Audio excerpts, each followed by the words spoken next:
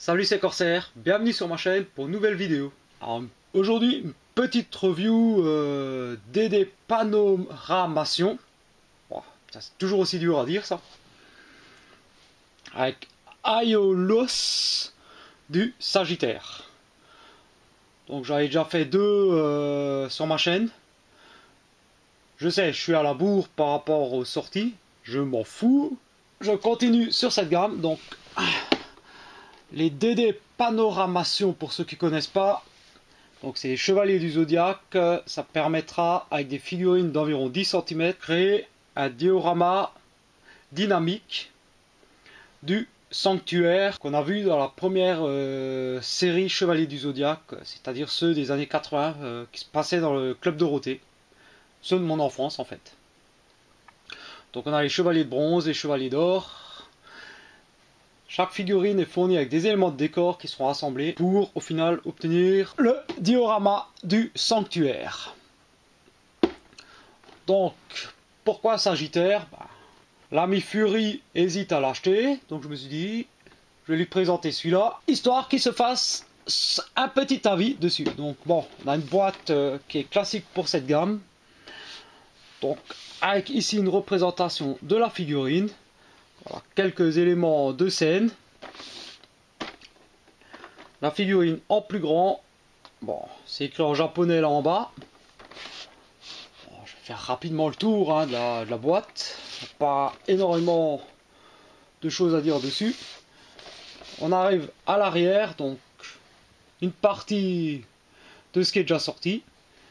Tout ce qu'on va retrouver dans la boîte.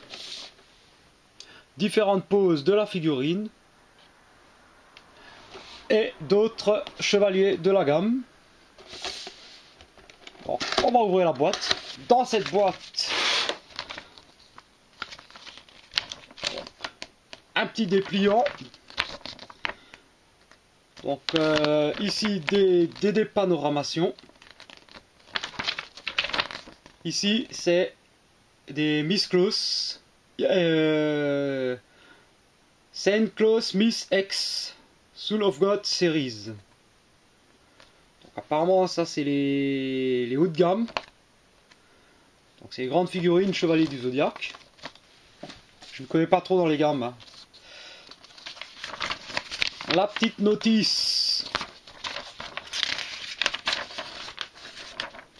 pour assembler les différents éléments. Le contenu de la boîte. Donc les éléments de colonne sur les grappes. Donc euh, là, il y en a pas mal. Hein. On va avoir comme ça aussi des escaliers. Le toit de la maison du Sagittaire. Des plaques de décor, donc je ne dirai pas ce que j'en pense. C'est malheureusement toujours aussi monochrome. Donc une plaque classique et une grande plaque. Intéressant d'avoir une grande plaque. Euh. Et nous allons retrouver donc un élément de mur. avec euh, quand même des détails, voilà les pierres, machin. Et donc apparemment un parchemin. Alors c'est écrit en aucune idée de ce que c'est la langue. Alors je vais regretter tout de suite que ce soit ton sur ton. On n'arrive pas du tout à lire l'écriture euh, directement. Donc un petit brush, peut-être euh, quelque chose pour euh, faire sortir l'écriture sera pas mal. Bon, on va passer sur le décor. Ce qui nous intéresse, c'est la figurine.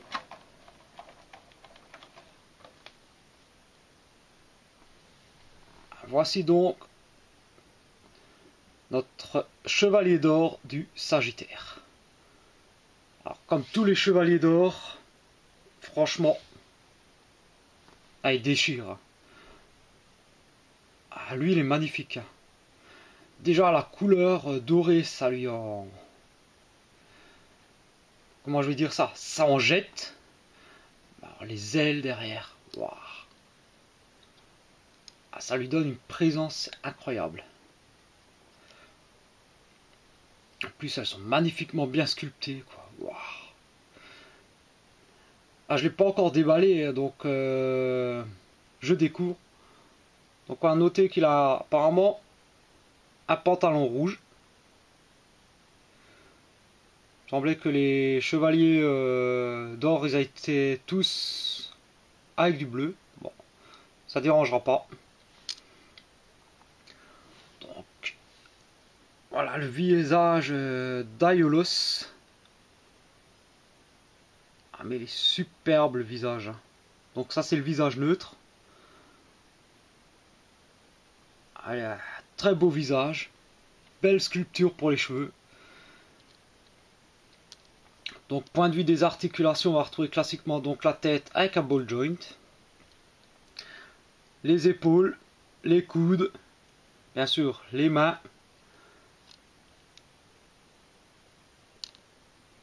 Donc les petites articulations. Même les petites ailes derrière comme ça sur les talons. Donc les ailes effectivement sont légèrement articulées.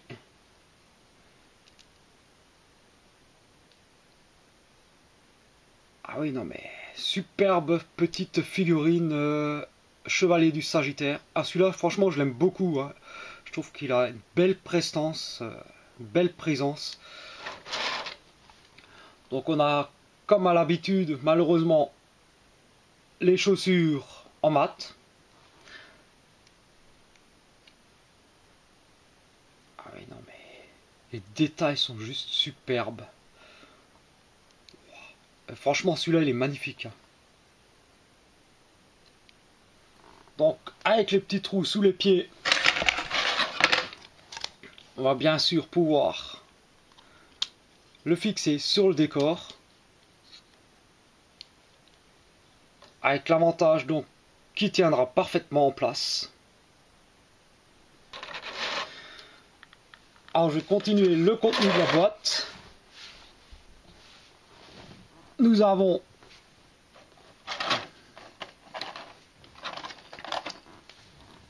l'arc. Alors c'est du brillant, donc euh, on dirait de l'or blanc. Toujours avec de belles sculptures, voilà.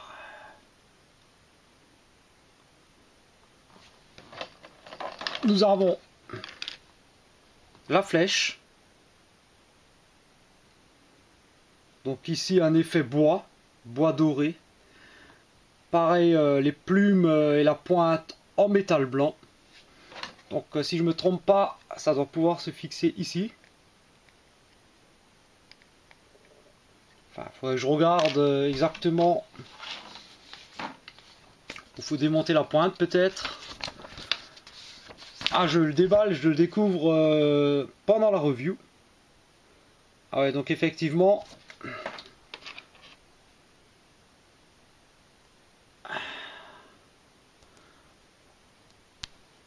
Voilà, faut démonter la pointe. Fixer ça comme ça pour faire croire que la flèche est rentrée dans le mur.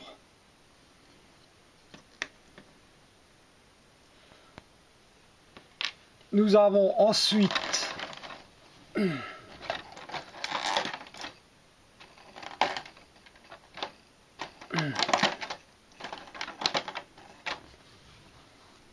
donc euh, les différentes mains.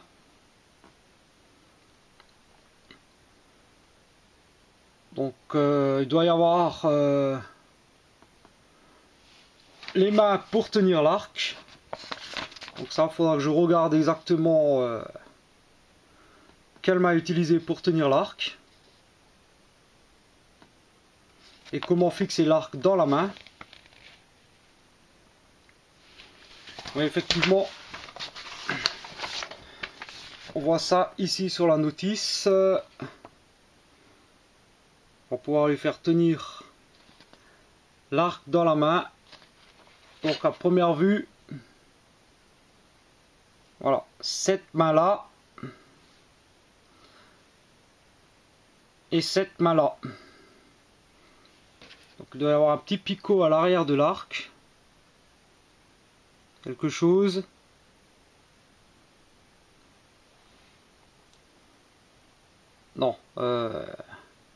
L'arc se démonte. Pour aller dans cette main là et un petit picot voilà à l'arrière de la flèche. Voilà donc euh, voilà pour les mains. Nous avons ensuite une chevelure donc euh, si on va enlever la couronne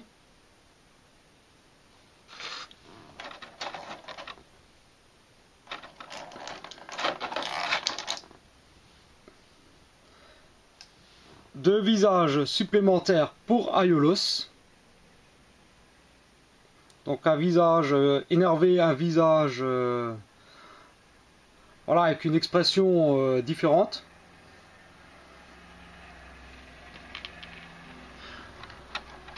Nous avons ensuite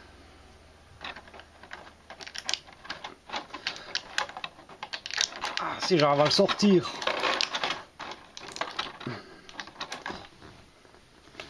c'est un peu compliqué.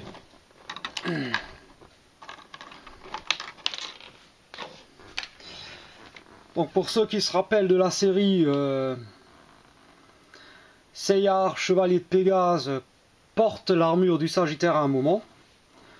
Donc nous avons de quoi euh, reconstituer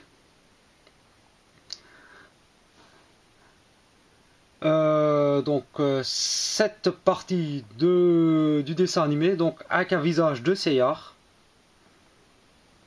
Un très beau visage avec une très belle chevelure. Donc le visage neutre. Donc le visage expressif. Euh, au moment de lancer une attaque. évidemment la chevelure pour mettre euh, pour enlever la, couronne, voilà. Non, ça c'est la chevelure pour mettre la couronne. Celle qui est dessus, c'est celle sans couronne, voilà. Et puis pour terminer, donc euh, Aiolos était chargé de la protection d'Athéna, donc euh, Saori, quand elle était enfant. Donc nous avons nos deux bébés Athéna. Ah, ils sont plutôt mignons. Hein. Saori, dans son... Comment ça s'appelle ça? Oh, j'ai un trou maintenant, un trou de mémoire. Donc c'est plat en dessous, donc on peut le poser soit au sol, soit ça doit être possible, ça doit être possible peut-être de lui mettre éventuellement... Euh, il faudrait que je change les mains pour que ça soit un peu plus crédible, hein, bien sûr peut-être lui mettre le bébé dans les bras. Sinon, on peut le poser bien sûr au sol. Ou alors on peut lui mettre petit bébé Athéna.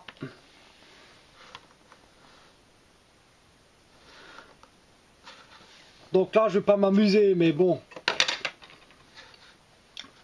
Pour changer les mains, donc il suffit de tirer dessus, voilà. C'est une petite tige, c'est comme les autres. Vous pouvez aller voir les vidéos précédentes, euh, je vous montre ça. Pour changer la tête, euh, ça reste le même principe.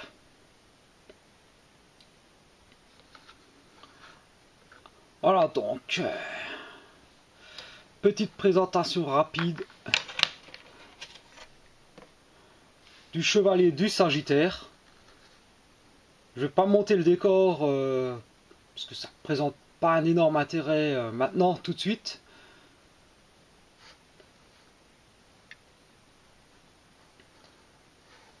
Mais vraiment, on peut faire quelque chose de vraiment sympathique avec euh, cette figurine. Franchement, il fait partie de, mes préférés pour le moment.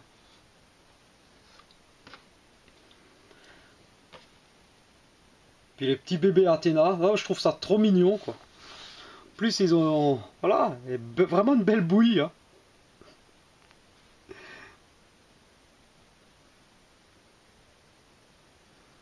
et pour les figurines de cette taille franchement c'est vraiment bien détaillé hein.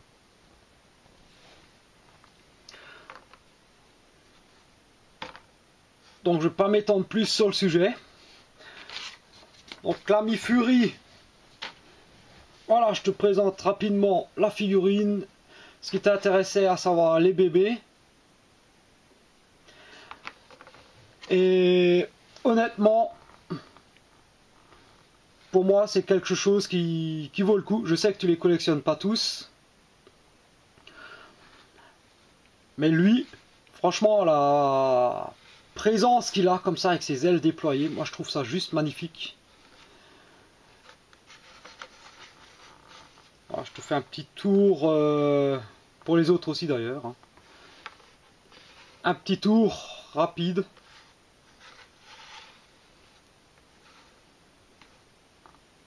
Donc, bon, je sais que tu hésites. Le Capricorne, euh, il sortira euh, en octobre. Tu hésites entre le Cap Fury, il existe. Il existe. Putain, j'arrive plus à parler. Tant que j'arrête la vidéo. Voilà, tu hésites entre le Sagittaire et le Capricorne.